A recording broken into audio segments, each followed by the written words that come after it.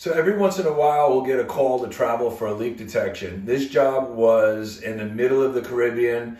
It was a high profile job, and so I don't want to say who it actually was. But on jobs like this, sometimes I'll reach out to some of the contractors that I've trained in the past. On this job, I contacted Lou Tobia out of Lake Worth, Florida at Gator Pool Leak Detection.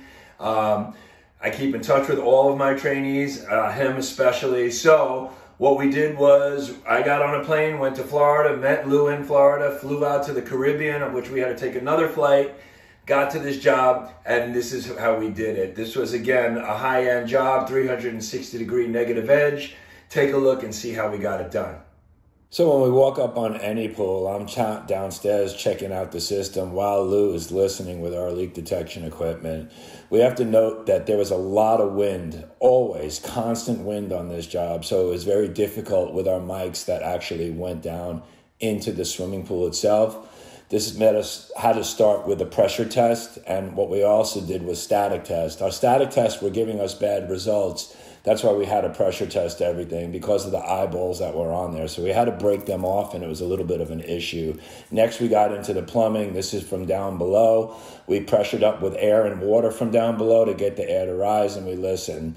Here, we had a 360 degree negative edge. So what we actually did was flooded it. And when we flooded it, we were actually able to dye test and look at all this dye pulling in. And this was on multiple joints. So we had a ton of leaks.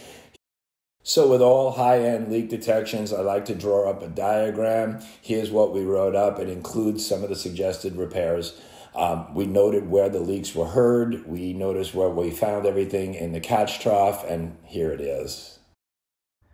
So that's how we were able to get this job done. Uh, we wrote up the price. We wrote up the repairs. Uh, the suggested repairs. We're not going out to do that job, but whenever we do a leak detection of this caliber, we'll uh, make suggested repairs and we'll always be able to consult with them. Now that I know the pool, now that I know the job, and now that I know the layout, I know how that job has to get fixed. I made those recommendations, and that's how we got this job done. For more information, visit leaktronics.com and always check out our YouTube channel.